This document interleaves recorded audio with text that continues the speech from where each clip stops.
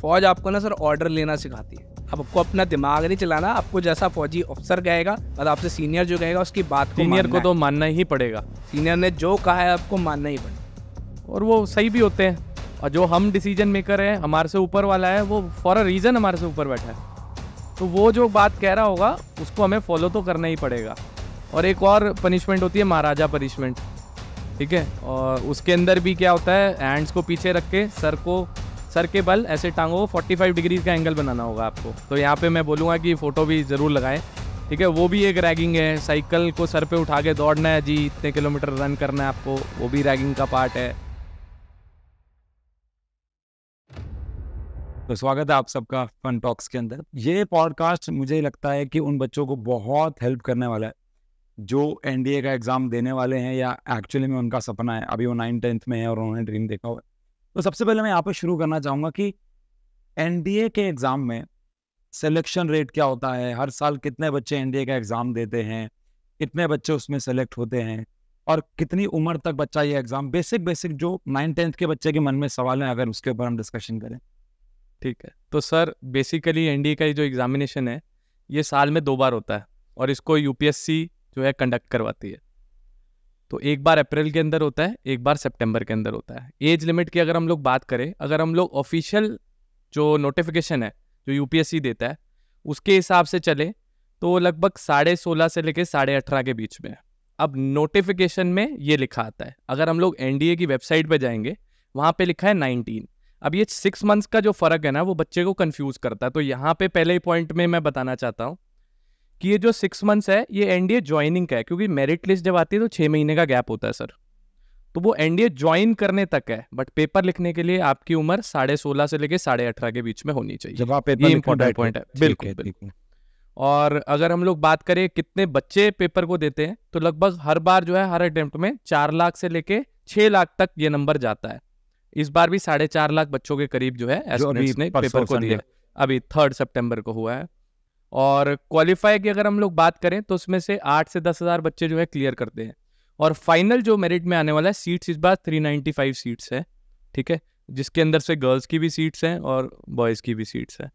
तो ये एक फैक्टर रहा है और लगभग less than one percent selection ratio है यहाँ पे हमारी। अभी हाल ही में ही सर गर्ल्स के लिए भी सीट्स खोली है। इससे पहले इंडिया के अंदर जो गर्ल्स अलाउड नहीं थी बट सुप्रीम कोर्ट ने अभी डिसीज़न पास किया है जिसके बाद से गर्ल्स अब अलाउड हुआ सर या करीब साल डेढ़ साल हुआ सर। अभी फ़र्स्ट बैच पास आउट हो चुका है जिसके अंदर गर्ल्स जो है अकेडमी के अंदर अभी पढ़ रही है। तो ऐसा क्या ऐसा आपके हिसाब से क्या रीजन था कि पहले गर्ल्स अलाउड नहीं थी और अब क्यों कर दी गई? देखो नेशनल डिफेंस अकेडमी जो एनडीए की बात कर रहे हैं ना पूरी आप कह सकते हो हमारी देश के अंदर एक इकलौती स्टीम प्रेस्टीज इंस्टीट्यूशन है जहाँ पर तीनों सर्विसेज़ एक सौ एक साथ ट्रेन हो रही है आर्मी नेवी एयरफोर्स के लिए। Apart from that class one अफसर बनाने वाली सिर्फ़ इकलौती कैटेगरी है यहाँ पर। और इसके बाद यहाँ से जैसे अगर आप एनडीए से पास आउट होते हैं ना तो अगर आर्मी की नेवी की एयरफोर्स की अगर बात करें तो टॉप की रैंक्स जो है सिर्फ़ एनडीए से ही अचीवेबल है। चाहे हम सी डी एस जो हम कैटेगरी बात करते हैं चीफ ऑफ़ डिफेंस स्टाफ्स होते हैं, हमारे आर्मी के जनरल होते हैं, वो सारे एनडीए से ही पास आउट है मैक्सिमम केसेस के अंदर। सबसे सुपीरियर रैंक पहुँचने के लिए एनडीए सबसे बढ़िया कैटेगरी है। और इसके अलावा अगर हम बात करें, अगर आपने बॉर्डर लाइन पे बिकॉज़ फौजी है सर बॉर्डर लाइन पे भी पोस्टिंग होती है तो वहाँ पर गर्ल्स के लिए खतरा होता था कि भाई प्रिजनर्स ऑफ़ वॉर ना बना ले कि कभी लड़ाई हो तो पकड़कर हमारी महिलाओं के साथ गलत व्यवहार ना हो। इसी वजह से इंडिया के अंदर ना बहुत कम। दूसरा एक मुझे लगता है ये भी फैक्टर है जो ट्रेनिंग शेड्यूल्ड है वो इस हिसाब से डिज़ाइंड है क्योंकि एनडीए शुरू से ही लड़कों के लिए रहा है। तो इसी हिसाब से ट्रेनिंग शेड्यूल डिज़ाइंड है कि सुबह मॉर्निंग में इतने बजे उठना है इतनी रिग्रेस ट्रेनिंग करनी है। तो जिसको मद्देनजर रखते हुए कि उन्होंने एक चीज़ ले ली थी कि भाई ये अकेडमी जो है यहाँ पे सिर्फ़ और सिर्फ़ मेन ट्रेन होंगे। क्योंकि लड़कियों के लिए उतना फिजिकली वो समझते थे कि इतना फ़िज़िकल लोड देना। दो अब ट्रेनिंग सेम है बॉयज़ और गर्ल्स की। हाँ अभी भी है। इनफैक्ट अभी पैरामिलिट्री फोर्सेज हमारी पैराएसएफ कहते हैं। जिसके अंदर ना गर्ल्स पहले अलाउड नहीं थी बट गर्ल्स जैसे अब इंडिया में अलाउ करी तो उन्होंने वॉलेंटियर किया कि भाई हम भी है जो पैराएसएफ ज्वाइन करना चाहते हैं। 19 गर्ल्स ने अप्लाई किया बट एक भी पास आउट ट्रेनिंग में क्या होता है सर वो सर पैराएसएफ की ट्रेनिंग बहुत डिफ़िकल्ट ट्रेनिंग आप समझ लो डेडलीस्ट फोर्सेज होती है हमारी। स्पेशल फोर्सेज कहते हैं उनको। तो उनकी ट्रेनिंग बहुत रिगरस होती है कि भाई जैसे खूनी नाला ना एक चीज़ होती है उसके अंदर ना, उसके अंदर क्या है कि भाई एक नाला होता है बना रखा है, एक रिवर से छोटी सी बना रखी है, उधर गड्ढा खोल के मिट्टी डाल रखी है, उसके अंदर सात आठ दिन से गंद भर रखा पूरा। स्मेली बिल्कुल स्टिंक करेगी, वो स्मेल करेगी और उन्हें सात आठ दिन तक वहीं पे रिग्रेस ट्रेनिंग कराई जाएगी। इसके अलावा बैग, पीठ के ऊपर सौ किलो का वेट लेकर रनिंग करनी है उन्हें सुबह उठ के, गले में टायर डालकर दौड़ना है, चौबीस घंटे तक उन्हें जो लास्ट डे जब उनकी ट्रेनिंग का होता है तो उस टाइम पे चौबीस घंटे की रिगरस ट्रेनिंग होती है उन्हें सोना नहीं हो सोना भी नहीं और स्लीप साइकिल भी डिस्टर्ब करते हैं। जैसे कभी रात को तीन बजे सो गए फिर उसके बाद आधे घंटे बाद उठा दिया फिर कभी पाँच घंटे सोने दिया फिर पूरा दिन काम करवाया फ़िज़िकल एक्टिविटी करवाई ऐसे स्लीप साइकिल डिस्टर्ब और फिजिकली पूरी तरह से ड्रेन कर देते तो तोड़ देते हैं पूरी सर अब ऐसा क्या लगा हमारी गवर्नमेंट को कि गर्ल्स अलाउड कर दी उन्होंने? अब सर किसी ने पिटीशन डाली है एडवोकेट ने कि अब एक एक एग्जामिनेशन अगर कोई भी गवर्नमेंट बॉडी कंडक्ट करवा रही है तो हमारा फंडामेंटल राइट तो यही कहता है कि बॉयज़ और गर्ल्स दोनों को सेम चीज़ दी जाए तो उसके हिसाब से दिया गया। बाकी एंट्रीज के अंदर गर्ल्स अलाउड प्रीवियसली थी जैसे सी डी एस एक एंट्री है ग्रेजुएशन के बाद होती है। इंडिया एंट्री सबसे पहली बात बताऊँगा सर ट्वेल्थ अपेयरिंग या ट्वेल्थ पास आउट या फिर इलेवंथ वाला भी दे सकता है लेकिन वो एसएसबी के लिए एलिजिबल नहीं होता। इलेवंथ वाला दे सकता है एसएसबी के लिए एलिजिबल नहीं होता ट्वेल्थ अपेयरिंग देगा ट्वेल्थ पास आउट इलेवंथ वाला एज डमी दे देते डमी अटेम्प्ट दे सकता है। सीडीएस लेवल का जो बच्चा है या तो ग्रेजुएशन के लास्ट ईयर में वो दे सकते हैं पास आउट होता है जो ग्रेजुएट होता है वो दे सकता है। तो यहाँ पर सीडीएस के अंदर ना दो चीज़ होती है सर एक आई में होता है एक ओ होता है। इंडियन मिलिट्री अकेडमी होती है और एक ओटीए ऑफिसर ट्रेनिंग अकेडमी तो ओटीए के अंदर जो होता है ना गर्ल्स अलाउड होती है बॉयज़ दोनों अलाउड होते हैं। आई के अंदर सिर्फ़ बॉयज़ अलाउड आईएमए मतलब? इंडियन मिलिट्री अकेडमी देहरादून के अंदर है सर उसमें अभी भी बॉयज़ ही अलाउड है सिर्फ़। एनडीए का भी चार साल की ट्रेनिंग होती है सर तीन साल आपको जो एनडीए के अंदर काटना है एक साल आपको आई एम ए के अंदर या फिर आप एफ़ ए भी कर सकते हो मतलब जो भी आपने स्पेसिफिक एंट्री चूज़ करी है आर्मी नेवी एयरफोर्स तीन साल के बाद अपनी कैटेगरी आप चूज़ कर सकते हो। तीन साल कट्ठे ट्रेन किया जाता है आर्मी नेवी एयरफोर्स के लिए हर बच्चे को मतलब अपनी अपनी स्पेसिफिक कैटेगरी के लिए। एंड उसके बाद आप एक साल चाहे आप आर्मी में जाना चाहते हैं तो आई एम में जाएँगे नेवी में जाना चाहते हैं तो आई एन ए जाएँगे एंड एयरफोर्स के अंदर जाना चाहते हैं तो ए एफ़ ए जाएँगे। सर एक सवाल मेरे मन में रहता है। आ, मैं जब था इलेवेंथ में तो मेरे पास बहुत सारे ऑप्शंस थे तो मुझे एक ऑप्शन एनडीए भी मिला। बट मुझे किसी ने बोला कि एनडीए में इसलिए जाओ क्योंकि आपको पावर मिलेगी।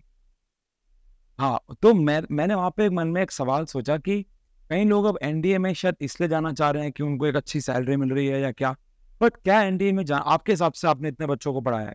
तो मेजोरिटी ऑफ़ बच्चा एनडीए क्यों चुन रहा है? क्योंकि उसको देश की सेवा करनी है, या उसको लगता है कि मुझे कहीं ना कहीं एक वर्दी मिलेगी तो उसकी एक पावर दिखानी है, या पैसा? आपके हिसाब से क्या मेन रीज़न है बच्चों का? देखो सर, मैं अपने एक्सपीरियंस से बताऊँ अगर तो ज़्यादातर बच्चों के अंदर मैंने जो चीज़ नोटिस किया है ना, वो सबसे बड़ी बात है उसको वर्दी और देश सेवा है।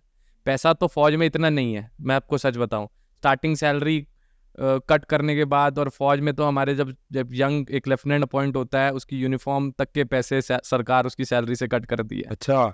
ये भी मेरे को मेरे स्टूडेंट ने ही बताया था। मुझे भी बहुत हैरानी हुई थी जब वो पोस्टेड हुआ। तो नेवी में भी सेम सिनेरियो है एयरफोर्स में भी है तो स्टार्टिंग पे में से भी कट होता है। तो पैसा एक मेरे हिसाब से ज़्यादा बड़ी मोटिवेशन नहीं है किसी बच्चे के लिए क्योंकि वो अगर कोई भी इंजीनियरिंग कॉलेज से भी पास आउट होगा दो तीन साल के अंदर साठ सत्तर हज़ार रुपये महीना तो कमा ही लेगा इंजीनियरिंग में। आजकल कोई एम एन सी ज्वाइन कर लेगा, चालीस हज़ार से स्टार्टिंग भी करेगा दो तीन साल बाद स्विच करेगा कंपनी पहुँच जाएगा। तो पैसा एक मेरे हिसाब से फैक्टर नहीं है। सबसे बड़ा फैक्टर उसके लिए यूनिफॉर्म है और एक है कि एक सेंस ऑफ़ प्राइड फील होता है, यार, हम लोग देश के लिए कुछ कर रहे हैं। एक लोगों के प्रति जो फौज को लेके इज़्ज़त है, हम सब लोगों के प्रति, वो उसको लगता है, यार, एक रिस्पेक्ट मुझे हासिल होगी, जहाँ भी मैं जाऊँगा, मुझे एक इज्जतदार नज़रों से देखा जाएगा। और मेरे हिसाब से आदमियों के लिए सबसे बड़ी लड़कों के लिए स्पेशली मैं तो बोलूँगा बींग बॉय या मेल कह लो हमारे लिए तो यही है कि सबसे बड़ी इज़्ज़त है हमारे लिए। रिस्पेक्ट है यार कि सामने वाला व्यक्ति हमें कितनी इज़्ज़त दे रहा है कितनी रिस्पेक्ट से देख रहा है हमें। सबसे बड़ा फैक्टर हुआ तो पैसा मुझे नहीं लगता। मेरे लिए तो सबसे बड़ी जो स्टूडेंट से ऑब्जर्वेशन निकली है वो है उसकी यूनिफॉर्म दूसरा है मैंने एक ऐसे ना सर ऐसे ही एक मैंने वीडियो थी उसके अंदर बोला था एक बिजनेसमैन की गाड़ी से ज़्यादा आपकी फौजी की वर्दी के ऊपर नज़र जाती है। वही जब एक फौजी सामने से निकलते ना तो सामने से बड़ा बड़ा आदमी भी साइड हो जाता है। सर जैसे अब यहाँ पे मुझे किसी ने एक बार बोला था कि जब कोई ऐसे एनडीए में जाता है तो उसको सिर्फ़ अपने कपड़े मतलब अपने घर के कपड़े खरीदने होते हैं। सरकार उसे गाड़ी देती है घर देती है खाना देती है ये बात सच है? बिल्कुल सर। देखिए हर किसी चीज़ का ना सर स्केल होता है। जैसे अब कॉरपोरेट वर्ल्ड में भी जाते हो आप ठीक है तो पहले आप कोई असिस्टेंट बनोगे उसके बाद आगे आगे लेवल्स होते हैं। तो यहाँ पे पहले लेफ्टिनेंट बनोगे फिर कैप्टन बनोगे फिर मेजर बनोगे। फिर ऐसे ऐसे रैंकिंग स्ट्रक्चर डिज़ाइन होगा उसके साथ साथ आपको अमेनिटीज मिलनी स्टार्ट के जाती है। अकॉर्डिंग प्रमोशन के ऐड अकॉर्डिंग ऑन होती है। अम्यूनिटीज बढ़ती मिलती ज़रूर है। सर कितने साल तक हम लोग सर्व कर सकते हैं? सर वो डिपेंड करता है आप शॉर्ट सर्विस कमीशन पे जा रहे हो परमानेंट कमीशन जा दो तरीके की कमीशन है। बिल्कुल। तो जो एनडीए एंट्री है वो हमारी परमानेंट कमीशन एंट्री है। पीसी कहते हैं सर पीसी हो गई। और जो सी डी एस में ओटीए है ऑफिसर ट्रेनिंग अकेडमी वो चेन्नई के अंदर है। वो है हमारी S S C short service commission entry उसमें दस साल अच्छा परफॉर्म करते हो एक्सटेंडेबल टू फोर्टीन ईयर बाकी एनडी एंट्री परमानेंट है वो फिफ्टी एट ईयर्स तक आप सर्व कर सकते अट्ठावन साल जो मतलब पैंतीस साल की पैंतीस चालीस साल की सर्विस आपकी हो जाती हो जाती है। तो उसके बाद सरकार आप रिटायर आपको क्या क्या चीज़ें प्रोवाइड पेंशनेबल होती है सर फौज फौज तो। पेंशनेबल है। फौज में आपको पेंशन मिलेगी। अ, ग्रेचुटी और आपके रिटायरमेंट के ऊपर जो पीएफ वगैरह है वो तो आपको मिलेगा मिलेगा। अट फ्रॉम दैट वैसे फौजी रिटायरमेंट के बाद भी बहुत सारी प्राइवेट नौकरीज में भी आराम से मिल जाती है। बिल्कुल। जैसे एचआर हो गए क्योंकि जो ऑफिसर लोग होते हैं उनको या तो एसएसबी से भी एक्सपीरियंस आ जाता है सर्विसेज़ सिलेक्शन बोर्ड में वो पोस्ट हो जाते हैं एज एसेसर बन जाते हैं। उसके बाद उनके पास बहुत सारे ऑप्शंस होते हैं। और लोगों को पढ़ने की जो क्षमता एज एन ऑफिसर बन जाती है एक व्यक्ति के अंदर वो शायद सिविल आदमी के अंदर नहीं होती है सर। सर अब कोई ऐसी कोई कहानी आपने बहुत बच्चों को पढ़ाया होगा बहुत बच्चों के सिलेक्शन हुए होंगे आज ऑफिसर्स भी होंगे वो। कोई ऐसी कोई इमोशनल कहानी आपको याद हो किसी स्टूडेंट की जो अब एक सोल्जर बन गया है ऐसा कोई कहानी है? बिल्कुल सर अभी तो मेरा एक स्टूडेंट है मैं नाम तो हाँ नहीं हाँ लेना जी, चाहूँगा।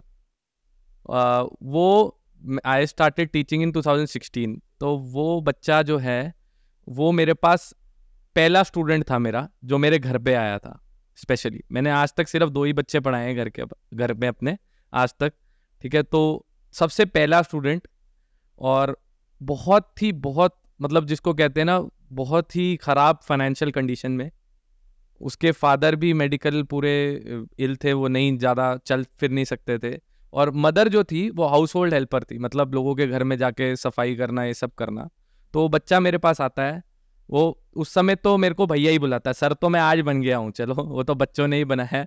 बट उस समय वो मुझे बोलता कि, अर्पित भैया, आप मुझे प्लीज़ एनडीए के लिए गाइड कर दो। तो मैं जब उसको देखता हूँ, मैं उसकी एज क्राइटेरिया देखता हूँ अनफॉर्चुनेटली उस समय वो एनडीए के लिए जो है उसकी ओवर एज हो जाती है, जब वो मेरे पास आता है। मुझे बड़ा दुख होता है, मैं बताता हूँ उसको।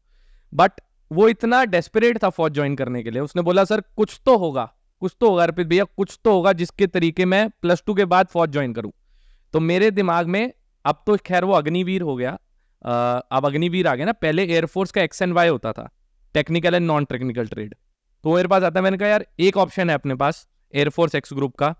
अच्छी है एयरफोर्स ज्वाइन करने के लिए बहुत अच्छी अपॉर्चुनिटी है तेरे पास। वो कहता है ठीक है। लगातार वो बच्चा तीन महीने सुबह छः बजे मैं उसको छः बजे सुबह पढ़ाता था लगातार छः महीने वो शायद इंटरव्यू देखेगा अभी मैं उसको शेयर भी करूँगा। लगातार वो मेरे पास आया ठीक है? और सुबह छः बजे तीन चार महीने के लिए वो आया बच्चा। उसको रेगुलरली मैंने पढ़ाया ठीक है? पे, पेपर के अंदर बैठा तो उस समय जब कट ऑफ़ जाती थी एयरफोर्स की वो कंबाइंड कट ऑफ़ थी। अब तो शायद अग्निवीर हो गया मैंने बहुत टाइम से पढ़ाया भी नहीं वो। तो फिजिक्स का पेपर होता था उसके अंदर इलेवन ट्वेल्थ की फिजिक्स आती थी मैथ्स आता था एंड इंग्लिश आता था तीन पेपर आते थे पच्चीस पच्चीस पच्चीस मार्क्स के। तो वो मैथ्स का पेपर और फिजिक्स। मैंने दो सब्जेक्ट उसको पढ़ाया मैंने कहा यार इंग्लिश में तो मेरा टाइट है दोस्त। मैं तुझे ग्रामर नहीं पढ़ा सकता। भगवान भरोसे कहता मैं अपने आप करूँगा। बुक खरीद के लाया वो। और उसके बाद जब उसने पेपर लिखा सर आप विश्वास नहीं करोगे पच्चीस बटा पच्चीस मैथ में है पच्चीस बटा पच्चीस फिजिक्स के अंदर है उस लड़के बहुत बढ़िया। और आज की डेट में वो बहुत अच्छा कमा रहा है। एयरफोर्स के अंदर ही है ठीक है? और बहुत बहुत खुश है। और अभी उसकी शादी भी होने वाली है रिसेंटली बहुत बढ़िया। तो मतलब ये एक बार बच्चों को ये भी समझाना पड़ेगा कि अगर कोई ओवर एज हो जाए तो वो क्या था एक प्रोसेस कि कैसे अगर कोई ओवर एज हो जाए तो कैसे एयरफोर्स में जा सकते देखो अब तो अग्निवीर हो गया है स्टूडेंट्स पहले जो है एयरफोर्स एक्स एंड वाई होता था, वो परमानेंट जॉब थी। अब अग्निवीर कर दिया तो वो तीन साल के लिए कर दिया एयरफोर्स अब चार साल कर दिया पहले तीन साल था, सर, सही कह रहे करंट अफेयर्स के टीचर है। तो अब चार साल कर दिया है। पहले तीन साल के लिए सरकार ने किया था अब इसको चार साल कर दिया और उसके बाद सिलेक्शन करेंगे कुछ पच्चीस परसेंट जो अच्छा परफॉर्म करते हैं उनको परमानेंट देंगे। पहले तो परमानेंट ही होता था जितने सिलेक्ट हो गया अब ये है कि इनपुट बढ़ा दिया है सिलेक्शन रेशो बढ़ा दिए तीन हज़ार अग्निवीर ले लेंगे। उसके बाद जो अच्छा परफॉर्म करेंगे चार साल के लिए पच्चीस परसेंट उनमें से छांट के दे देंगे। बाकी भी सर जो बच गए ऐसा नहीं है कि उनको बिल्कुल ही निकाल दी हाँ। फौज की ज़िम्मेदारी मैंने छोड़ दी। कहीं ना कहीं उनको जो है हेल्प करेगी किसी प्राइवेट नौकरियों के अंदर करने में किसी भी अगर जॉब कहीं मिल सकती है किसी ना किसी एंट्री के अंदर उनको एडजस्ट करने की कोशिश करेगी। सरकार ने ये बात बोली हुई अपने उसके। प्लस ग्रेजुएशन की डिग्री भी देगी। उसके अलावा उनको बहुत सारी और चीज़ें एम्यूनिटीज भी प्रोवाइड करेगी। सरकार वो पूरा प्रॉपर मेंशन है अग्निवीर की वेबसाइट के ऊपर भी। सर आपने कभी कोई फ़ायदा उठाया ऐसे अपने आपका स्टूडेंट बहुत ऊपर की फोर्स पे पहुँच गया हो और उसका कोई फ़ायदा वायदा उठाया हो? कभी छोटा मोटा छोटा मोटा फ़ायदा कैंटीन का फ़ायदा ज़रूर। मैं सुना कैंटीन में शराब बड़ी सस्ती मिलती है। हाँ बिल्कुल सही कह रहे हो सर। नॉर्मल अगर आप ठेके की बात करोगे तो जो चीज़ यहाँ पर अगर पंद्रह सौ रुपये की है तो हाफ़ रेट ही होता है ऑलमोस्ट इनफैक्ट आपको ये बात बताऊँगा कि हमारा एक स्टूडेंट है या एक मेरा कह लो फ्रेंड ही है तो वो मेस में अंदर है आर्मी मेस में ना। वेट कैंटीन समझ लो या फिर उसमें आर्मी ऑफिसर्स मेस के अंदर है तो वहाँ पर एक पैग का रेट उसने बताया दैट इज़ तीन रुपये। अच्छा। तीन रुपए का एक बैग होता है फौज के अंदर। अगर आप नॉर्मल जो से कोई भी अगर ब्रांड की बात कर लें तो तीन रुपए पाँच रुपए सात रुपए दस रुपए मैक्सिमम बारह पंद्रह यहाँ पानी भी नहीं मिलता। हाँ यहाँ पानी की बोतल से सस्ती भी वहाँ पे। पैग है। तो ये फ़ायदे उठाए आपने बस इससे ज़्यादा तो क्या था। एक फ्रिज लिया था अच्छा। उसको बोला था यार फ्रिज दिला दे बस। तो वहाँ पे ये सब कुछ सस्ता मिलता है। हाँ ये सब भी है। गाड़ी मोटरसाइकिल भी सस्ती मिलती है। मतलब गाड़ी के लिए लेकिन ऐसे बहुत वेट करना पड़ता है अच्छा आपको अच्छा। बोला था मैंने कार जब अपने ली थी तब उस टाइम पे बोला था फ्रेंड को बट उसने कहा बहुत टाइम वेटिंग पीरियड ज़्यादा होता है उनका। ये है बस। पर डिस्काउंट अच्छा मिलता है ये है। तो एक प्लस एक जो फौजी बंदों को एक एक एक्स्ट्रा बेनिफिट जो मिलता है वो ये है कि उनके पास कैंटीन का एक्सेस होता है और मेडिकल फैसिलिटीज़ के लिए एमएच होता है मिलिट्री हॉस्पिटल्स हैं जो कि Command अंदर वो और उनकी इंटायर फैमिली का कवर्ड होती है। तो ऐसा कोई और इलीगल वीगल काम का फ़ायदा नहीं लिया आप? नहीं नहीं सर हमने क्या करना जैसे कभी कोई आ गया हो आपके अकेडमी में, कुछ तो आपने उसको फ़ोन वोन करवाया, ऐसा कभी कुछ हुआ है? ऐसा तो सर पॉसिबल ही नहीं है, यहाँ पे मैं बताना चाहता हूँ। पूरे देश में ऐसा कोई व्यक्ति नहीं है, जो आपको एक फ़ोन पे आपकी एसएसबी क्लियर करा दे या कुछ कर दे या पैसे वैसे लेके यही चीज़ के अंदर हंड्रेड परसेंट श्योर हूँ मैं, कि मतलब कोई ऐसा व्यक्ति नहीं है। फ्रॉड बहुत मिल जाएँगे दुनिया के अंदर, कहेंगे मैं आपकी सेटिंग करा दूँगा, ये करा दूँगा, वो करो। आज तक पढ़ाते हुए इतने साल हो गए। आज तक मैंने कोई ऐसा बच्चा नहीं देखा, जो किसी गलत तरीके से गया हो। हमारे को अप्रोच किया पेरेंट्स ने बहुत कि भाई हमारे से एक करोड़ ले लो ये ले लो बच्चा सेटिंग करवा कुछ कुछ जगहों पे ऐसा होता है। डायरेक्टली बोला सर मेरे को मेरे सामने पेरेंट्स आए थे तो उन्होंने बोला कि सर मेरी सेटिंग करा दो कि एक करोड़ रुपए ले लो हमारे से डायरेक्ट बच्चा हमारा फौज में अफसर बनवा दो। हमारे हाथ खड़े हैं सर। हमारा काम है पढ़ाना वो हम करवा सकते हैं मेहनत से। अगर ऐसी होता तो फिर हमने अकेडमी क्यों खोली होती? ये यही सब काम करना होता तो फिर फिर फौज की तैयारी क्यों कराते? सर मैं एक और सवाल पूछना चाहूँगा बड़ा मुझे एक्चुअली मैं यहाँ से कुछ देख नहीं रहा हूँ। ये सारे सवाल मेरे मन के हैं। सर जैसे कि मैं मैंने ना अपनी मदर के नाम का टैटू बनवाया। बिल्कुल। ये मैंने बनवाया था जब मैं कॉलेज के सेकेंड ईयर में था। ठीक है। क्योंकि मुझे टेंथ में मेरा एक थॉट तो था शायद एक एनडीए एक ऑप्शन तो मुझे किसी ने टेंथ में बोला था कि भाई पूरे बॉडी में कोई टैटू नहीं होना चाहिए। मैं बताता तो हूँ ऐसा है क्या NDA की बोल- के? टैटूज का अगर मैं बात करूँ सर टैटूज अलाउड नहीं है लेकिन यहाँ फोर आर्म पे अगर आपने कोई रीजनल टैटू बना रखा है या कोई सिंबॉलिक रिलीजन है आपके जैसे कोई ट्राइब से बिलोंग करते हो ट्राइबल टैटू है या रिलीजियस टैटू है वो अलाउड है। वो ओम है। वो भी सिर्फ़ फोर आर्म से नीचे नीचे फोर आर्म से नीचे नीचे हाँ फोर आर्म से नीचे नीचे ओम लिखाओ पेरेंट्स का नाम लिखाओ बचपन से। हाँ।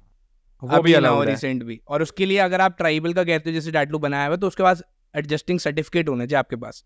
कंपनिंग सर्टिफिकेट होना चाहिए कि हाँ भाई मैं इस ट्राइब से बिलोंग करता हूँ। इस वजह से मैंने टाटू बनाया है। ऐसे कोई कहे मॉडल बना ना ना सीधा बाहर है। पहले दिन ही आपकी जब स्क्रीनिंग होती है तब आपका चेक कर लेते हैं टाटू पूछ लेते हैं ओ टैटू है? एस एस बी इंटरव्यू जब होता है पहले बुला लेते हैं भाई टाटू तो नहीं है किसी के। है तो दिखाओ कहाँ पे है?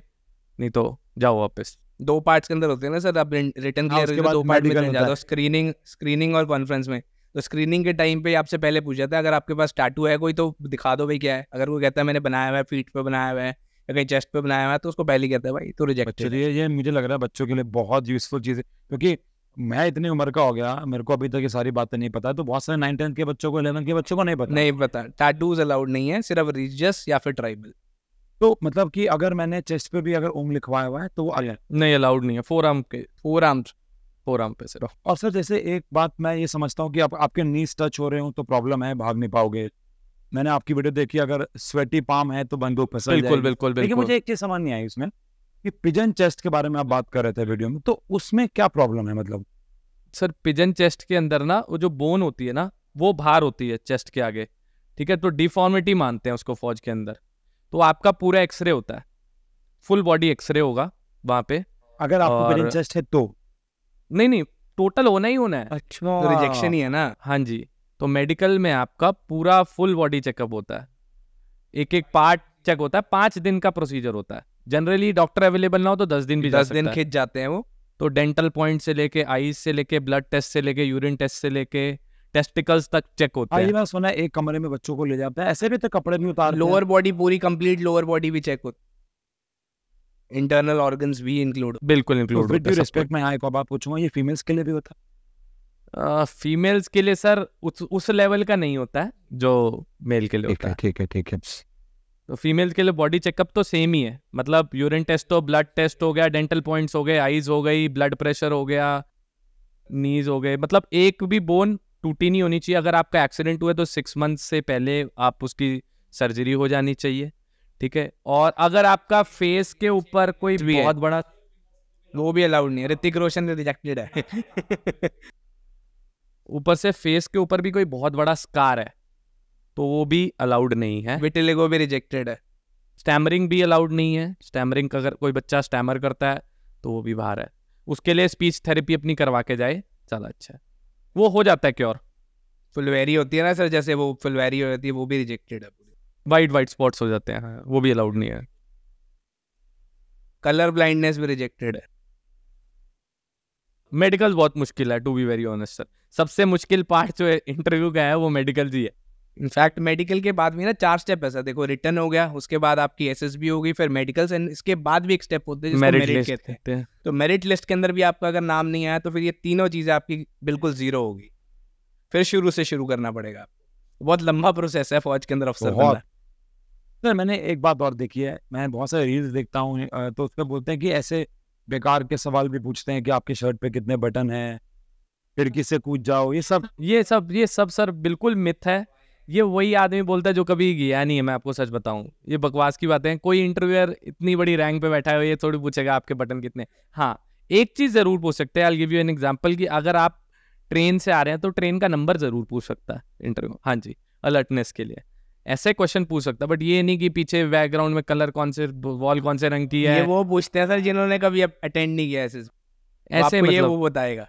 वो पी क्यू फॉर्म होता है सर एक पर्सनल इन्फॉर्मेशन क्वेश्चनरी इंटरव्यू से पहले ना वो बच्चे से भरवा लेते हैं। उसके अंदर आपके हॉबीज होते हैं इंटरेस्ट होते हैं एक्टिविटीज़ होती है स्पोर्ट्स होते हैं। हाँ बस उसी के ऊपर रणवीर जी ने वहीं से कॉपी किया। है।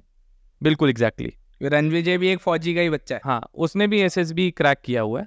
हाँ तो वो वो ये बात जानते हैं कि वो पी क्यू फॉर्म है तो इंटरव्यू कैसे लिया जाता है।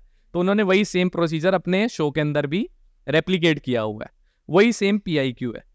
पर्सनल इन्फॉर्मेशन उसके अंदर भी सेम हॉबीज इंटरेस्ट सारी चीज़ें एक्सपोर्ट्स एक्टिविटीज़ ठीक है बोर्ड्स में कितने नंबर आए सारा कुछ उसके अंदर होता है। मतलब आप समझ लो पैंतालीस मिनट का अगर आपका इंटरव्यू चल रहा है तो वो सिर्फ़ एक पेपर और शीट के ऊपर ही बेस्ड है। उसी से बाहर कुछ नहीं पूछता। आपसे पैंतालीस मिनट तो आपको उसी पे निचोड़ देता सर जैसे आप बच्चों को तैयारी कराते हो तो आपको फॉर्म भरना सिखाते हो? बिल्कुल हमारे पास एसएसबी के अंदर जो कोर्स होता है उसके अंदर हम लोग पूरा फॉर्म भरना सिखाते हैं उसका एनालिसिस देते हैं। और जो इंटरव्यूइंग ऑफिसर है उसकी गलतियाँ भी बताता है इंटरव्यू के बाद कि ये ये मिस्टेक है भाई ऐड ऑन करना इसको रिजेक्ट करना ये चीज़ें नहीं बच्चे गलती क्या करते हैं? पीआईक्यू फॉर्म में नादान होते हैं जो विदाउट कोचिंग जाते हैं जिनको या कुछ इन्फॉर्मेशन नहीं है हॉबीज इंटरेस्ट में। स्टूडेंट्स का हॉबीज इंटरेस्ट आजकल है ही नहीं लिख देंगे न्यूज़पेपर रीडिंग नॉवल रीडिंग अब इंटरव्यूअर पकड़ लेता भाई कि tell me any five national news और फाइव इंटरनेशनल न्यूज़ बच्चा कहता है यार पाँच नेशनल आता नहीं। वो कहता है नॉवेल्स पढ़ते हो? आप बताओ जरा पाँच ऑथर्स के नाम। कौन कौन सी बुक्स आपने पढ़ी? क्या पढ़ा उसके अंदर से? सर बड़ा मतलब ये तो इंटरेस्टिंग हो रहा है। एक सवाल मेरे मन में और आता है कि ये फॉर्म हमेशा फिक्स रहता है। हाँ ये फिक्स रहता है। सारी Internet पे भी होते हैं वो सब तो सर फिर ये अनफेयर नहीं हो गया जैसे मान लो मैं आपको आज जैसे हमारा पॉडकास्ट हो रहा है हमने आपको कुछ भी पहले से नहीं बताया। तो यहाँ पे जो भी आपके आंसर्स आ रहे होंगे वो बिल्कुल फेयर आ रहे होंगे तो वो अनफेयर नहीं हो रहा। जैसे मैं अगर मुझे पता है कि उस फॉर्म में यही क्वेश्चन पूछा जाएगा तो मैं अपने मन से भी तो कुछ सवाल उसका जवाब पहले से बना के जा सकता हूँ। बिल्कुल जा सकता हूँ। लेकिन कोई लेकिन दिक्कत वहाँ नहीं। फंस जाएगा आगे। वो फंसाना उनको ग्रिलिंग आता है। करते हैं ना वो ग्रिल कर दस हज़ार इंटरव्यू लेके बैठा होता है एक इंटरव्यू इंटरव्यू सीनियर इंटरव्यू अफसर टेन थाउज़ेंड इंटरव्यूज़ लेके उसको बैठे पता है कहाँ भी ये फंसेगा। और उसको पकड़ के फिर वो दस क्वेश्चन और पकड़ लेता है।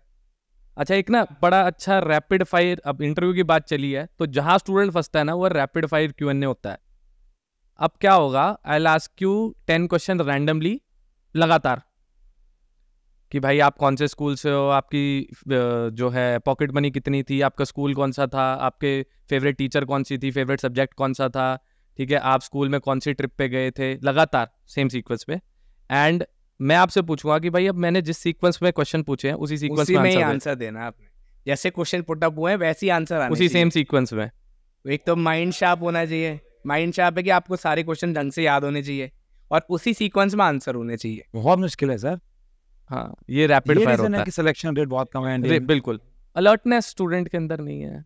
मतलब पहले से प्रिपेयर होना ज़रूरी है आज के टाइम में टू बी ऑनेस्ट अब और होना भी चाहिए। आप किसी इंटरव्यू के लिए जा रहे हो कहीं भी जाते हो इंटरव्यू के लिए तो एटलीस्ट प्रिपेयर तो अपने आप को करके जाना ही चाहिए। तो लेमन लैंग्वेज में भी बात करें सर आपको पता है भाई बारिश होने वाली तो छाता लेके ही निकलते हो ना आप।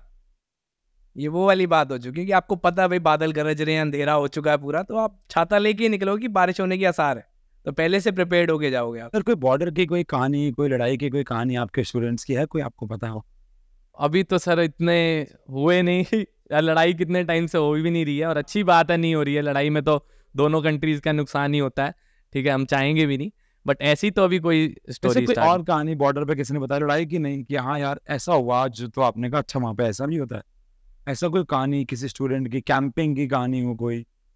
कैंपिंग की सर कुछ एनडीए में मैं इंसिडेंट आपको बताना चाहता हूँ। अभी रिसेंट में ही, जिस बैच में मेरा स्टूडेंट था, और देखो लाइफ का कितना रिस्क होता है, और पता नहीं क्या होता है। बच्चा एक था, ठीक है, अभी ट्वेंटी ट्वेंटी की बात है, और जिस एकेडमी में वो बच्चा मेरा स्टूडेंट पढ़ रहा था, उसका ही बैचमेट वहाँ पे रात को एनडीए में नाइट ड्रिल चल रही थी।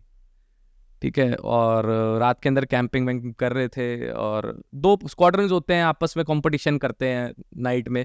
ग्यारह बारह बजे के आसपास टाइम था, वहाँ पे बहुत बड़ा गड्ढा था। तो बच्चा उसके अंदर अनफॉर्चुनेटली गिर गया and he lost his life तो ऑन द स्पॉट और मतलब मेरे को बताते हुए बड़ा दुख होता है और ये शायद होना चाहिए, हमारी फौज को एक्टिवली इस चीज़ों के अंदर पार्टिसिपेट करना चाहिए। इनफैक्ट कार्तिक सर का एक स्कूल फ्रेंड है। मुझे याद आ रहा है, सर बताते हैं उनके बारे में भी। I take his name as well Ravinder है, इस टाइम पे कनाडा के अंदर है वो अच्छा सेटल्ड है कनाडा के अंदर। उसने ओ टी है सी डी एस के थ्रू ओ टी ज्वाइन किया था तो ट्रेनिंग में था वो अपनी। ट्रेनिंग के ड्रिल के दौरान ना रस्सी चढ़नी पड़ती है। तो उस टाइम पे वो ऊपर से गिरा मतलब समझ लो पच्चीस तीस फुट से गिरा वो ऊपर से एंड उसकी बैक की हड्डी टूट गई।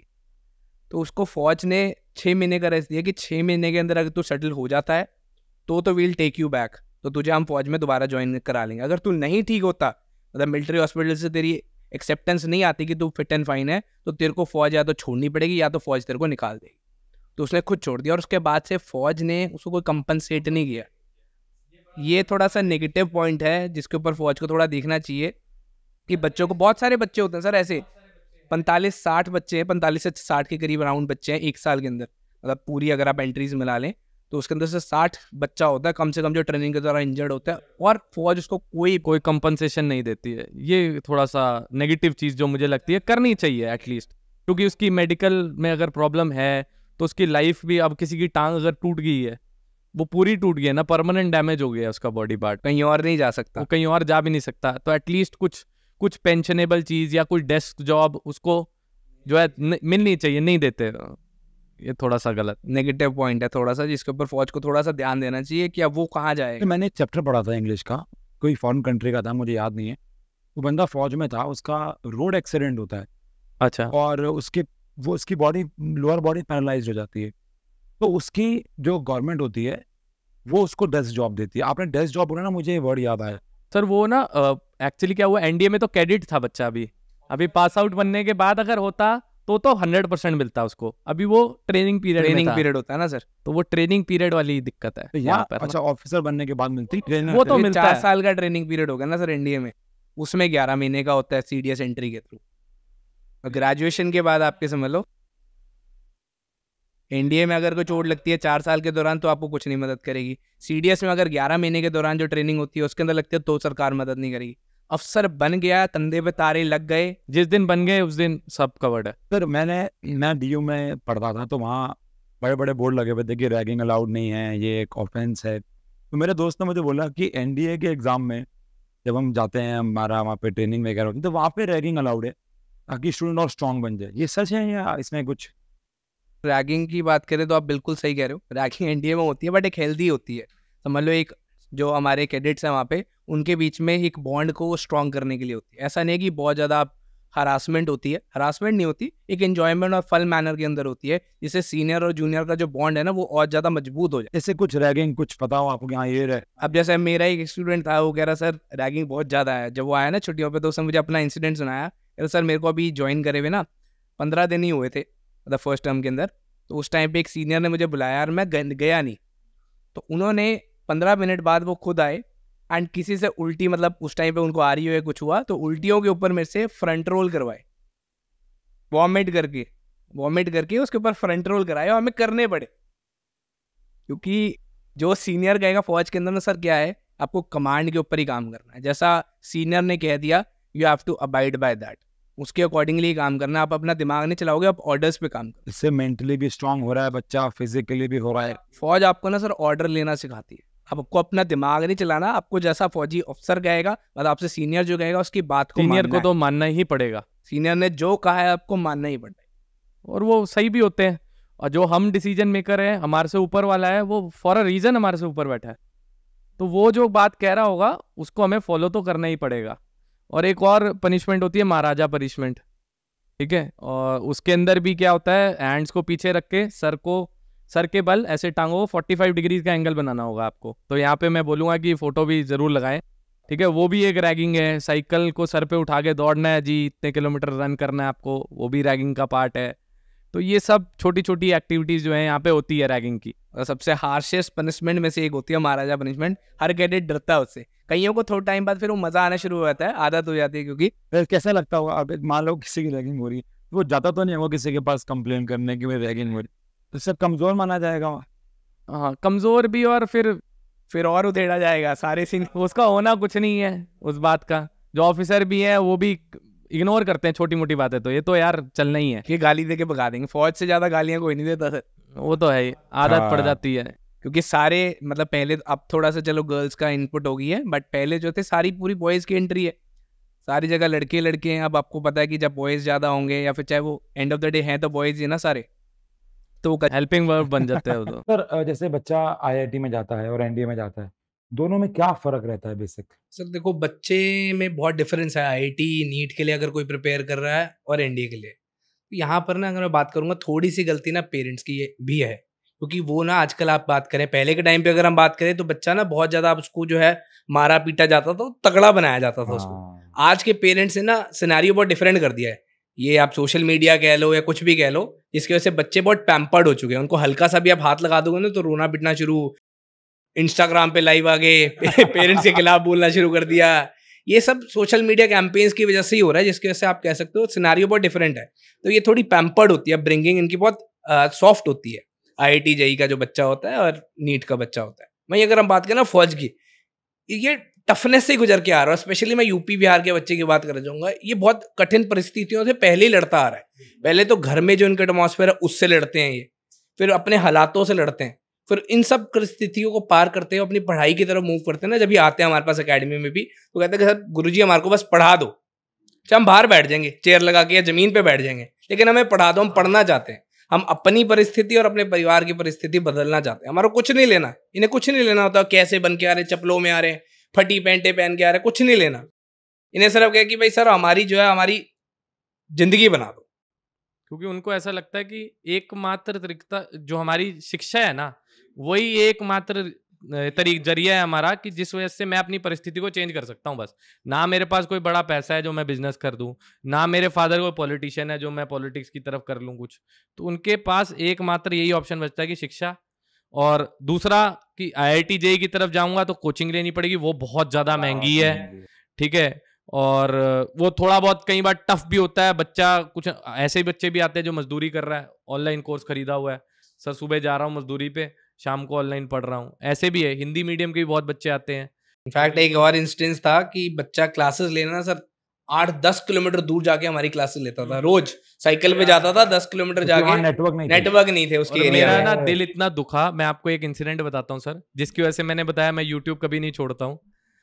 एक स्टूडेंट का मुझे कॉल आता है मैं ना बीच में थोड़ा बीमार हो गया मुझे साइनस की प्रॉब्लम है तो सर्दियों में कई बार बीमार हो जाता हूँ तो दो चार दिन क्लास नहीं ले पाया। बच्चे का मुझे कॉल आता है मेरा नंबर ना बहुत इजीली अवेलेबल है मेरा जो पर्सनल नंबर है वही कोचिंग का नंबर है मैं खुद ही उठा लेता हूँ। मुझे अच्छा भी लगता है बात करते हैं और तो बच्चे का मुझे कॉल आता है छः बजे शाम को।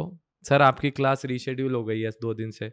मैंने कहा हाँ बच्चे मेरी तबीयत नहीं सर आप ना मैसेज डाल दिया करो टेलीग्राम पे ना हमको आठ किलोमीटर दूर आना पड़ता है साइकिल चला के रोज जाता था वो गाँव के पास तो क्लासेस ले सके। आठ किलोमीटर दूर आना पड़ता सर हमको ना।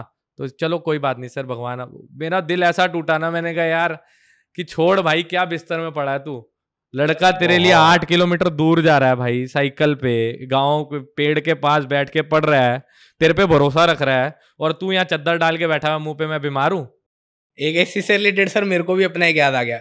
मैंने एक शादी में गया हुआ था तो वहाँ पे ना मेरा कज़न था वो वॉशरूम गया तो वॉशरूम के अंदर से ना आवाज़ें आ रही थी मेरी क्लास की। अच्छा।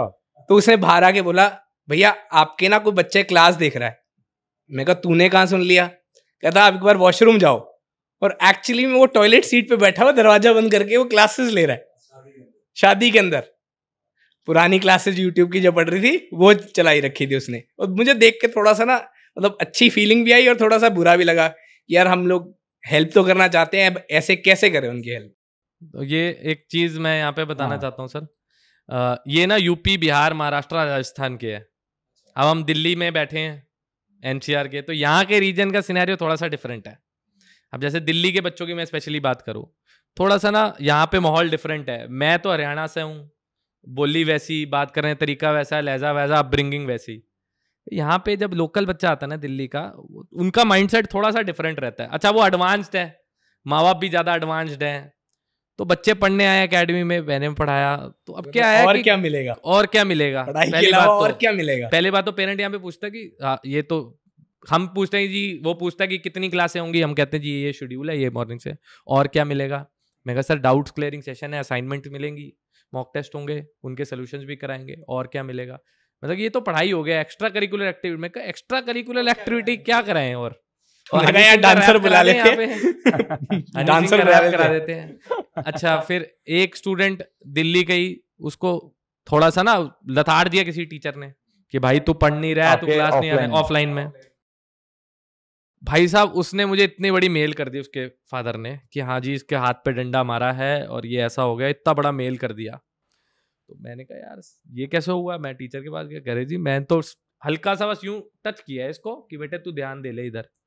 उसने इतना बड़ा मेल कर दिया कि हरासमेंट है जी मार रहे हैं मुझे। मैं फिर मेरे को लगा यार यार मैं एजुकेशन मिनिस्ट्री में लिख दूँगा मेल आप लोग बच्चों को मारते हो। हमने कहा सर थोड़ा सा तो देखो जाना टफनेस थोड़ी हाँ मैं चाहिए सर ये पूछना चाह रहा था कि ज़्यादातर बच्चा जो एनडीए में जाता है वो हमारे इंडिया में कहाँ से है? यूपी से। दिल्ली उत्तर प्रदेश से है क्या? यूपी में भी है सर यूपी देखो चार जगह है यूपी बिहार राजस्थान महाराष्ट्र और दिल्ली। ये पाँच जगह है। मतलब समझ लो। हरियाणा से मतलब सेकंड नंबर पे यूपी के बाद हरियाणा ही आती है। फ़र्स्ट नंबर सबसे पहले यूपी फिर हरियाणा। सेकंड पे टॉप में है जो हरियाणा ही है वो। दिल्ली से कम बच्चे कम बच- सबसे ज़्यादा फौजी जो बनते हैं वो यूपी से यूपी बनते से ही हैं। बनते हैं उत्तर प्रदेश से। सर दिल्ली बैंगलोर में से कम बच्चे जाने का क्या ये भी एक रीजन है कि बच्चा बहुत पैम्पर्ड है? पैम्पर्ड है सर बिल्कुल। अच्छा आजकल के लाइन में हर किसी के माँ बाप के एक एक दो दो बच्चे होने लग गए हैं ठीक है ना? वो फौज में भेजना नहीं चाहते उनको घबराहट होती है यार कि आए दिन हम सुनते हैं न्यूज़ के अंदर ये हो गया वो हो गया ये टेररिस्ट अटैक हो गया जी। खाई से बस गिर गई है जी, ऐसा हो गया जी, वैसा हो गया तो मुश्किल है। और कोई पेरेंट आज के टाइम में चाहता नहीं है मुश्किल परिस्थिति से मेरा बच्चा बने, क्योंकि जिस एरा में हम लोग जी रहे हैं ना सर, पहले क्या था, हम लोग जो पेरेंट्स थे माँ बाप थे, वो अपने सर्वाइवर के लिए, हमारे जो ग्रैंड फादर थे, वो सर्वाइवल के लिए जीते थे। जो हमारे माँ बाप थे, वो थोड़ा बहुत बचाने के लिए जीने लगे कि हम थोड़ा बहुत सेव भी कर रहे हैं। अब हम जिस एरा में हैं, वो हम लग्जरी मांगते हैं। और आने वाला अल्ट्रा लग्जरी मांगेगा। क्योंकि इंडिया ग्रोथ कर रहा है ना इंडिया ग्रोथ कर रहा है तो उसी हिसाब से देश तरक्की कर रहा है तो माइंडसेट चेंज होता जा रहा है लोगों का। तो इस वजह से जो है मेट्रोपॉलिटन सिटीज़ से ज़्यादा tier two tier three cities से कवर्ड है ये रीजन है कि भाई यूपी के कोई गाँव से या शहर से छोटे से वहाँ से बच्चा आ रहा है।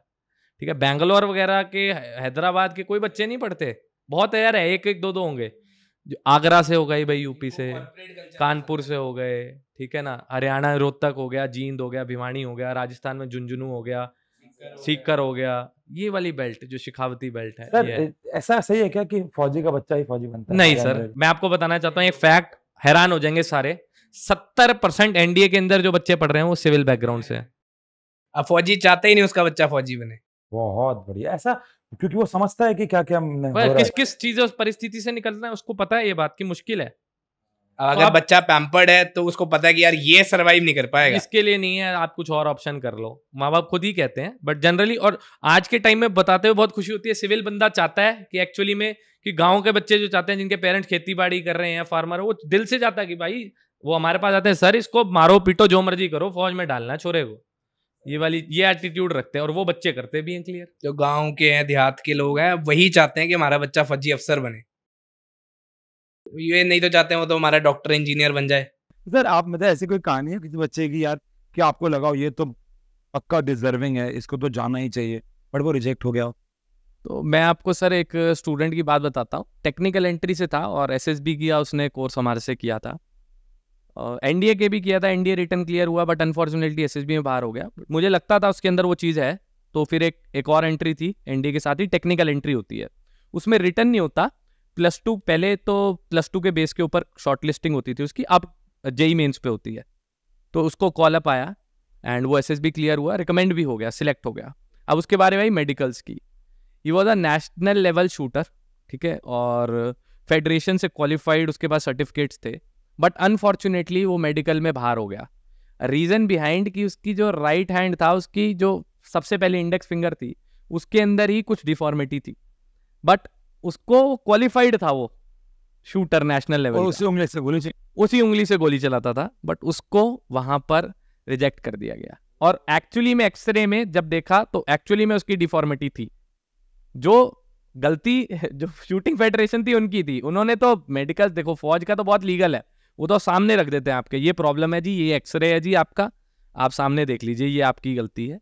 और जो मेडिकल स्टैंडर्ड है अगर उसके अकॉर्डिंगली नहीं नहीं हुआ तो फिर आप जो मर्ज़ी कर लीजिए आप कागज़ से बाहर नहीं जाते मतलब कागज़ में जो मेंशन है उसके अकॉर्डिंगली ही काम नेशनल लेवल का शूटर सिलेक्ट नहीं हुआ शूटर था वो सिलेक्ट नहीं हुआ। तो क्या वो कुछ फिर आगे मतलब कुछ रिक्वेस्ट करते हैं? सारा कोर्ट में अपील करी हुई थी उसने।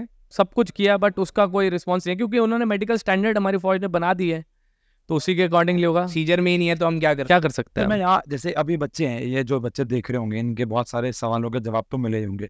बट ये सारे बच्चे एनडीए की तैयारी भी कहीं ना कहीं से करना चाहेंगे। तो आपके तैयारी करने का क्या प्रोसेस है? बच्चों को अगर आपका कोई कोर्स ज्वाइन करना हो या यूट्यूब पे पढ़ना हो तो आप कैसे कैसे तैयारी कराते हैं? और आप एनडीए में बच्चे के एडमिशन के दौरान क्या क्या हेल्प करते हैं? एक बार इसके बारे में बात करें अगर हम। तो सर हमारे जो ऑनलाइन और ऑफलाइन दो लोग कोर्सेज चलते हैं। ऑफलाइन जो हमारी एकेडमी है वो S S B guide Janakpuri Janakpur Delhi में। ठीक है। ठीक है एस एस बी गाइड के नाम से। S S B guide defence academy पूरा आप सर्च कर लेंगे गूगल गूगल पे आ ही जाएगा। और उसके बाद प्लस अगर आप ऑनलाइन हैं ऑनलाइन करना चाहते हैं तो हमारा S S B guide app भी है जो प्ले स्टोर के ऊपर है हाँ जी उसी के ऊपर है और उसी के थ्रू हम लोग हमारा संकल्प बैच आता है इंडिया का। और मेरे को बताते हुए बहुत खुशी भी होती है कि लगभग हर बैच के अंदर 1100 से 1200 बच्चे क्लियर करते हैं रिटर्न बहुत बढ़िया। जो आप मान के चलो अगर 8000 बच्चे क्लियर कर रहे हैं तो उसमें से 11 1200 तो रिटर्न के हमारे ही स्टूडेंट्स हो जाते हैं। और एस में भी बहुत अच्छा रिज़ल्ट आता है। तो अगर कोई पढ़ना चाहता, अगर कोई नहीं अफोर्ड कर सकता मतलब दोनों ही पेड कोर्स नहीं अफोर्ड कर सकता तो यूट्यूब है हमारे पास। अर्पित चौधरी, कार्तिक चौधरी हमारे यूट्यूब चैनल्स है। उधर हम लोग फ्री क्लासेस भी देते हैं। और फ्री क्लासेस के अंदर आपको ये नहीं देखने को मिलेगा कि हमारा ये इस तारीख को ये बैच आ गया जी, ये खरीद लो, वो खरीद लो। ऐसे वाला काम नहीं करते हम लोग। एक बार बताते हैं बैच के बारे में।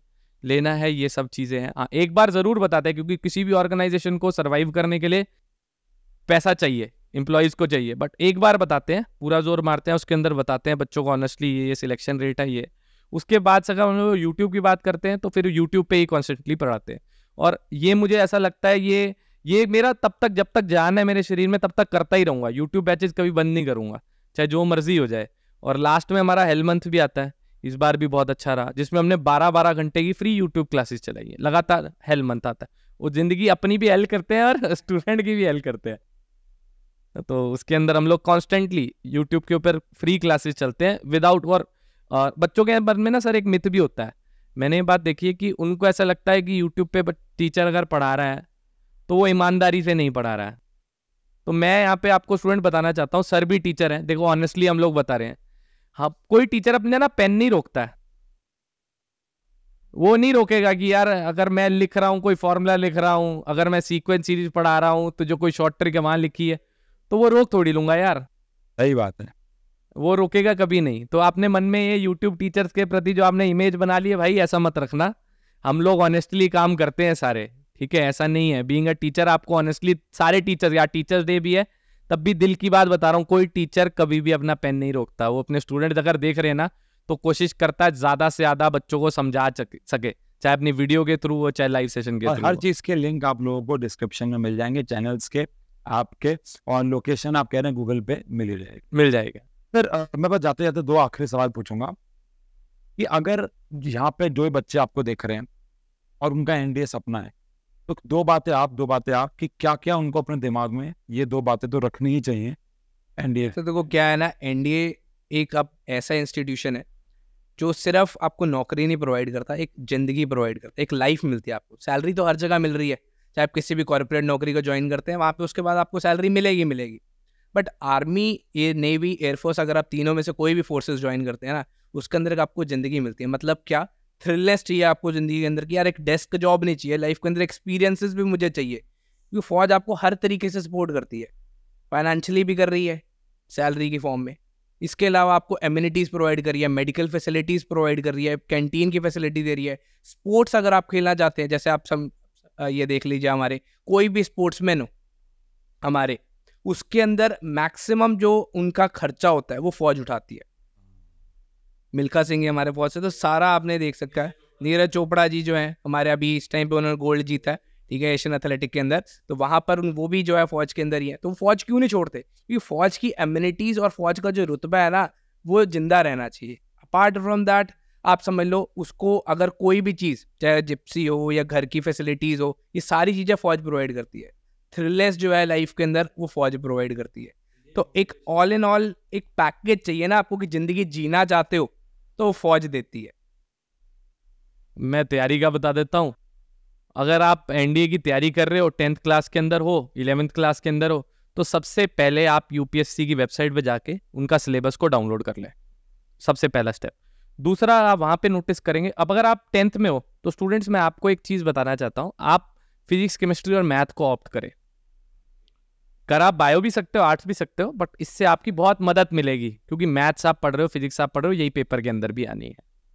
और साथ साथ जर्नल स्टडीज़ एक बहुत बड़ा फैक्टर है, उसको आप पीछे मत छोड़े। अगर आपने एनडीए सपना देख लिया या हमारी शक्लें आपको पसंद आ गई है आपको लग रहा है, यार एनडीए करना है, या अच्छी लगी हमारी बातें तो आप साथ में जनरल स्टडीज़ भी पढ़ना स्टार्ट करें हिस्ट्री पॉलिटी जोग्राफी ज़्यादा कुछ नहीं करना और करंट अफेयर्स सिर्फ़ वीडियो लेक्चर्स देख लो। मैं ये नहीं कहूँगा आप एन लाइन बाय लाइन पढ़ो, वो पॉसिबल भी नहीं है, मैं जानता हूँ आपके पास बहुत सारी चीज़ें करने को।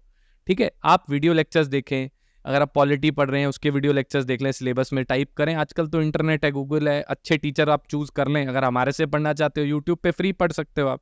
वो टाइटल लिखें, आपको पूरे पूरे वीडियो लेक्चर्स मिल जाएँगे। उसके नोट्स खुद बनाइए फ़र्स्ट क्लास ये पीडीएफ वाले जमाने में आप हैंड रिटन नोट्स को चूज़ करोगे सिलेक्शन पक्का है। ठीक है, अगर आप पीडीएफ के है ना, वो मोबाइल के अंदर पड़ी रहेगी किसी फोल्डर में, किसी तीसरे फोल्डर में और खुलेगी भी नहीं कभी। असाइनमेंट आज तक आपने पीडीएफ की कभी सॉल्व भी नहीं की होगी। जब तक आप खुद पेन से नहीं करोगे ना, जब तक कलम खुद नहीं चलाओगे, नहीं होगा। साथ में कोई अच्छी मैथ्स बुक आप ले सकते हैं एनडीए के लिए, ठीक है, और एक पीवाई क्यूज की बुक ले लो। बस साथ साथ पढ़ना स्टार्ट कर दो। और ये मिथ अपने दिमाग में से हटा देना, अगर आपको कोई कहता है कि लगभग तीन महीने में एनडीए क्लियर हो जाएगा, दो महीने में हो जाएगा, नहीं होगा। छः सात महीने, आठ महीने, साल लगाइए। मेहनत करिए अच्छी। हंड्रेड परसेंट आपको रिज़ल्ट मिलेगा और पैटर्न आपका यूपीएससी की वेबसाइट पे मिल जाएगा। अब समझ लो, एक साल की मेहनत आपको पैंतीस साल की नौकरी दे रही है तो कहाँ से कहाँ से कोई नेगेटिव तो है नहीं ना? घाटे का सौदा तो नहीं है, फ़ायदा ही है आपका। और आपके साथ साथ आपकी पूरी, क्योंकि क्या ना सर, एक फौजी जब बनता है ना तो कर्नल साहब, मेजर साहब, उसकी वो तीन पीढ़ियों तक चलता है। एक फौजी जो बन जाए ना परिवार में से, वो अपनी तीन सुधे तीन पीढ़ियाँ सुधार देता है। और परमानेंट कमीशन रिटायर होने के बाद भी अब टाइटल भी आपने देखा होगा रिटायर्ड लिखा होता है लेफ्टिनेंट कर्नल नाम से नहीं बुलाते कर्नल साहब तो ये रिटेन करने का जो रैंक स्ट्रक्चर है ये सिर्फ़ फौज देती फौज है देती है। कि आपके पास रैंक है ये परमानेंट है ताउमर आप लगा सकते हो जी colonel lieutenant colonel major general ये ताउमर लगा फौज में और अकेडमिक्स के अंदर मिली हुई चीज़ें आपको बताता हूँ कॉन्स्टिट्यूशन के अंदर ये मेंशन है। आर्टिकल 17 के अंदर ये मेंशन है हमारे। कि अगर आपको कोई टाइटल्स मिल रखे हैं सिर्फ़ फौज और अकेडमिक्स के अंदर आप रख सकते हो बाकी जगह अबॉलिश कर दिए हैं। अच्छा और बाकी इन इनके ताउमर चलेंगे इनके ताउमर चलेंगे। जैसे शेरशाह टाइटल मिला था कैप्टन विक्रम बत्रा को तो वो रिटेन रहा है सारी उम्र अभी मूवी भी आई है तो रिटेन रहा है। ऐसे ही सिर्फ़ फौज के अंदर मिला है जैसे इंग्लिश के अंदर अगर आपको मिलिट्री के अंदर मिला प्रोडिजी कि बहुत एक्स्ट्रा इंटेलिजेंट हो आपको ये टाइटल मिल गया तो आप वो आप उसको रिटेन कर सकते हैं। तो मुझे पूरी उम्मीद है मैं मैंने ही बहुत मैंने इसका आज बिल्कुल भी इस्तेमाल नहीं किया है। मेरे को खुद से बहुत सवाल पूछ रहे थे और ये सारे सवाल मुझे लगता है हमारे स्टूडेंट्स को भी क्योंकि मैं उन्हीं बच्चों के साथ रहता हूँ। तो बिल्कुल। मेरे भी मन में सवाल थे उनके भी बहुत क्लियर हुए होंगे। और आई होप ये पॉडकास्ट हर एक एन डी एस्पेरेंट को बहुत काम आएगा। आप जाके प्लीज़ इनके चैनल देखिएगा। बहुत सारे अभी मैं रस्ते में बहुत सारे वीडियोस देखता आया हूँ। और जनरली मैं भी ऑफ़ कैमरा भी कह रहा था कि मैंने बहुत कम टीचर्स देखे हैं जो जेनुअनली बच्चों का भला करना चाह रहे हैं। और आज से पहले मैंने ये बात कभी बोली भी नहीं है। क्योंकि इंसान की अब एक आध वीडियो देख के हम समझ जाते हैं कि वो एक्चुअली बच्चों की कितनी हेल्प करना चाह रहा है। तो ज़रूर जाके आप नीचे डिस्क्रिप्शन में लिंक है आप एक बार गो थ्रू ज़रूर कीजिएगा। बाकी sir thank you so much fun talks पे आने के लिए। और बच्चों को इतना आपका बहुत बहुत शुक्रिया हमें बुलाने के लिए। जय हिंद जय हिंद। जय हिंद।